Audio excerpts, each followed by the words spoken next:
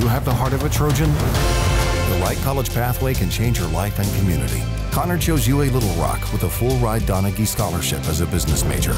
Along the way, the Central High grad was elected SGA president, studied in China, and earned the top graduating senior award.